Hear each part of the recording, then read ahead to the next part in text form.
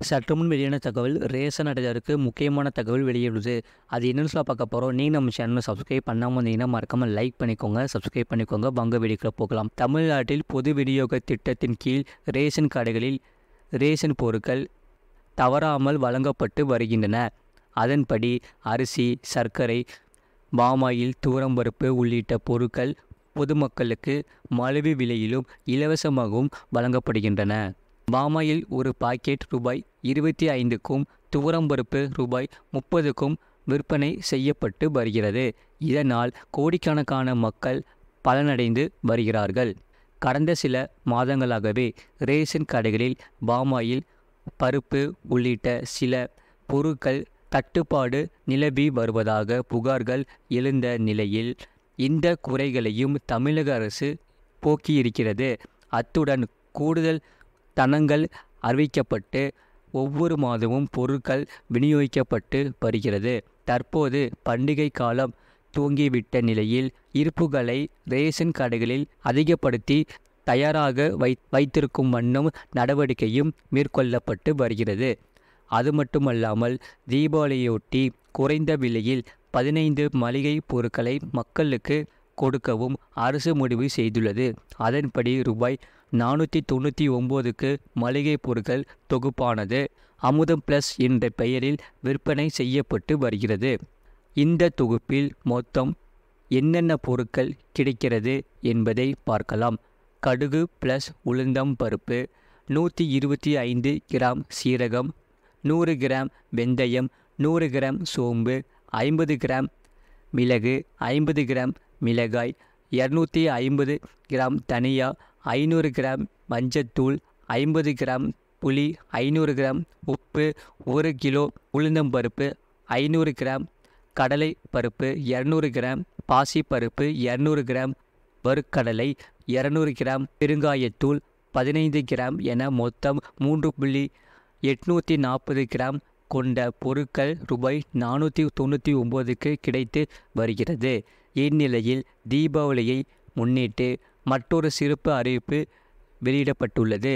இது தொடர்பாக அமைச்சர் பெரிய கருப்பன் அறிக்கை ஒன்றினை வெளியிட்டிருக்கிறார். அந்த அறிக்கையில் உள்ளதாவது தமிழக முதல்வர் மு. ஸ்டாலின் அறிவுரையின்படி பொதுமக்கள் அனைவரும் தீபாவளி பண்டிகையினை சிறப்பாக கொண்டாடும் வகையில் தமிழகத்தில் அனைத்து துறைகளின் சார்பில் பல்வேறு முன்னேற்பாடுகள் மேற்கொள்ளப்பட்டு வருகிறது.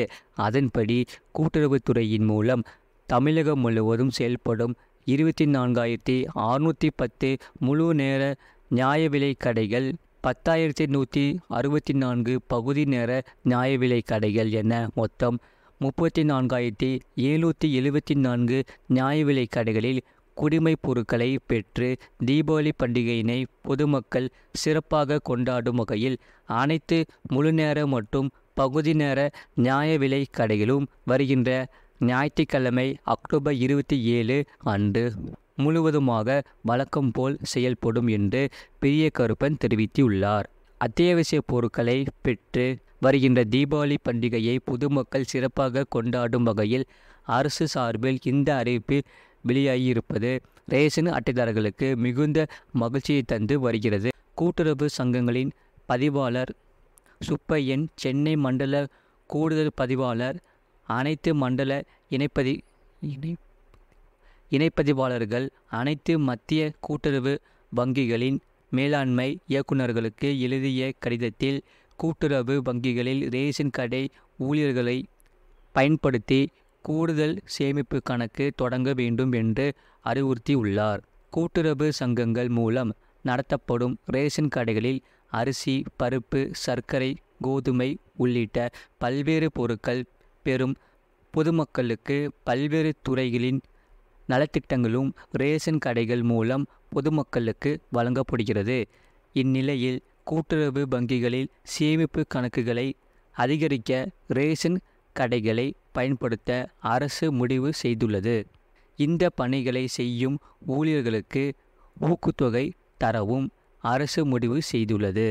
இது பற்றி கூட்டுறவு சங்கங்களின் பதிவாளர் சுப்பையன் சென்னை மண்டல கூடுதல் பதிவாளர். அனைத்து மண்டல இணைப்பதிவாளர்கள் அனைத்து மத்திய கூட்டுறவு வங்கிகளின் மேலாண்மை இயக்குநர்களுக்கு கடிதம் எழுதியுள்ளார்.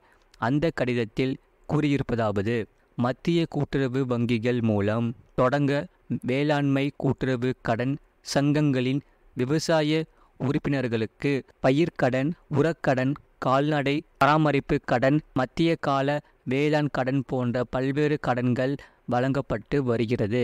கடந்த இரண்டாயிரத்தி இருபத்தி மூன்றாம் ஆண்டில் பதினெட்டு புள்ளி முப்பத்தி ஆறு லட்சம் விவசாய உறுப்பினர்களுக்கு ரூபாய் பதினைந்து ஆயிரத்தி ஐநூறு கோடி அளவிற்கு பயிர்க்கடன்கள் வழங்கப்பட்டுள்ளது.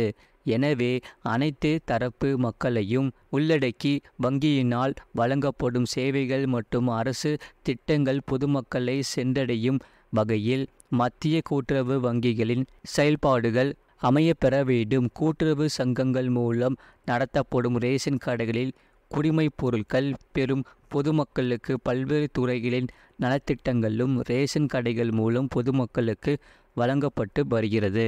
கூட்டுறவு வங்கிகளின் சேமிப்பு மற்றும் கடன் சேவைகள் பொதுமக்களை சென்றடையும் வகையில் ரேஷன் கடைகள் மூலம் பொதுமக்களுக்கு அப்பகுதியில் உள்ள மத்திய கூட்டுறவு வங்கிகளின் கிளைகளில் சேமிப்பு கணக்கு தொடங்கிட நடவடிக்கை மேற்கொள்ளவும் பல்வேறு அரசின் கடன் திட்டங்கள் பொதுமக்களுக்கு சென்றடைய நடவடிக்கை மேற்கொள்ளவும் மத்திய கூட்டுறவு வங்கியின் மேலாண்மை இயக்குநர்கள் கேட்டுக்கொள்ளப்படுகிறார்கள். அனைத்து ரேஷன் கடைகளிலும் மத்திய கூட்டுறவு வங்கிகளின் சேமிப்பு திட்டங்கள் நிரந்தர வைப்பு திட்டங்கள் மற்றும் கடன் திட்டங்கள் குறித்தான கையோடுகள் விநியோகிக்க வேண்டும். ரேஷன் கடை பணியாளர்களை கொண்டு சேமிப்பு கணக்கு தொடங்குவதற்கான விண்ணப்பங்களை பொதுமக்களுக்கு வழங்க வேண்டும். விண்ணப்பங்களை கேஒய்சி விவரங்களுடன் ரேஷன் கடை பணியாளர்கள் மூலம் பூர்த்தி செய்து பெற வேண்டும். அவ்வாறு பெறப்பட்ட விண்ணப்பங்கள் மூலம் தொடங்கப்படும் ஒரு சேமிப்பு கணக்குக்கு ரேஷன் கடை பணியாளர்களுக்கு ஊக்குத்தொகையாக ரூபாய் ஐந்து வழங்கவும் நடவடிக்கை மேற்கொள்ள வேண்டும். மேலும் ரேஷன் கடைகள் மூலம் தொடங்கப்படும் சேமிப்பு கணக்குதாரர்களுக்கு கூட்டுறவு வங்கிகள் மூலம் வழங்கப்படும் கடன் திட்டங்கள் அரசின் கடன் திட்டங்கள் மற்றும் நிரந்தர வைப்பு திட்டங்கள் குறித்தான கையோடுகள் மின்னணு பரிவர்த்தனை ஏடிஎம் கார்டு வசதி போன்றவை எளிதில் பெறும் வகையில் இந்த வசதிகள் அடங்கிய தொகுப்பை அக்கவுண்ட் ஓப்பனிங் கிட் அவர்களுக்கு உடனடியாக சென்றடைவதை உறுதி செய்ய வேண்டும். ரேஷன் கடைகள் மூலம் தொடங்கப்பட்ட சேமிப்பு கணக்குகள் நடப்பு கணக்குகள் மற்றும் நிரந்தர வைப்பு கணக்குகள் குறித்தான முன்னேற்றத்தினை கண்காணித்து திறனாய்வு கூட்டத்தில் தெரிவிக்க வேண்டும்.